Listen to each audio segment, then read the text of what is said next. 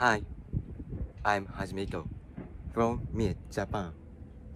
I want to thank all the medical professionals who are fighting the COVID-19 and wish you a speedy victory over this virus. Stay safe and healthy. 皆さん、こんにちは。伊藤はじめです。僕は日本の三重県に住んでいます。コロナウイルスと戦っている医療関係の方々にお礼いたします。人類がこのウイルスに打ち勝つことを願っています。